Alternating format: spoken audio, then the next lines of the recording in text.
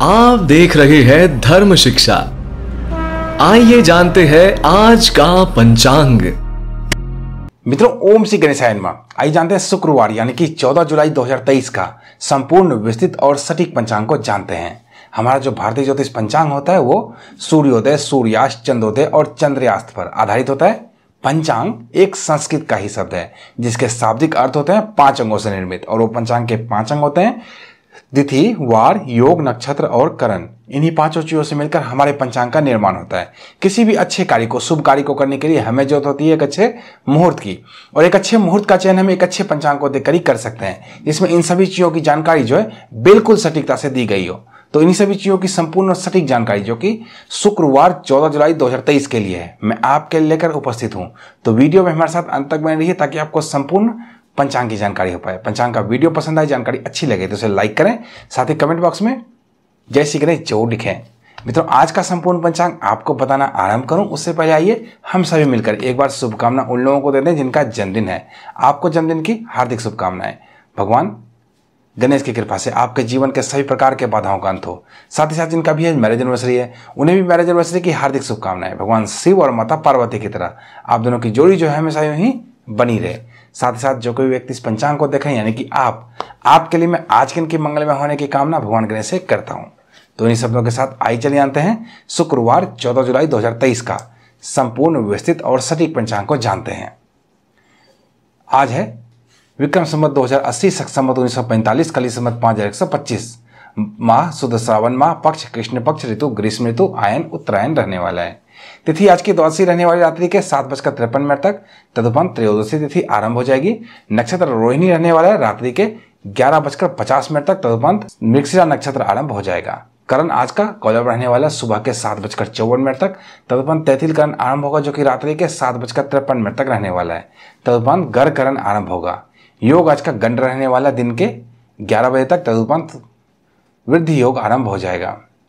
दिशाशुल पश्चिम दिशा में है। पश्चिम दिशा में किसी भी खास प्रयोजन से यात्रा ना करें, यहाँ पर आपको नुकसान हो सकता है। शुभ खाद्य, मीठी दही रहने वाला है मीठी दही खाकर यात्रा करेंगे, किसी नए कार्य को करेंगे, उसमें आपको सफलता लगेगी। चंद्र राशि वृक्ष रहने वाली है। वृक्ष राशि में चंद्रमा विराजित रहेंगे। आज जिनका भी जन्म होगा, उन सबकी राशि जो है, वो वृक्ष ही रहेगी। व्रत त्यौहार में ऐसा कुछ नहीं है, लेकिन यमघट योग रात्रि के ग्यारह बजकर पचास मिनट तक आज रहने वाले हैं। सूर्य राशि, मिथुन राशि, सूर्य नक्षत्र पूर्णवसु नक्षत्र, सौरमा अषाढ़मा रहने वाला है। सूर्योदय और चंद्रोदय पर एक नज़र डालें तो सूर्योदय सुबह के पाँच बजकर बत्तीस मिनट पे होगा, सूर्यास्त शाम के सात बजकर इक्कीस मिनट पे होगा, चंद्रोदय रात्रि के तीन बजे होगा और चंद्रास्त दिन के चार बजकर पैंतालीस मिनट पे होने वाला है। ये तो थी आज की सूर्योदय और चंद्रोदय की बात। आइए भी एक नज़र आज के शुभ चौघड़िया की स्थिति पे डालें। आज का शुभ समय दिन के बारह बजकर छब्बीस मिनट से लेकर दिन के दो बजकर दस मिनट तक चर समय सुबह के पाँच बजकर बत्तीस मिनट से लेकर सुबह के सात बजकर पंद्रह मिनट तक।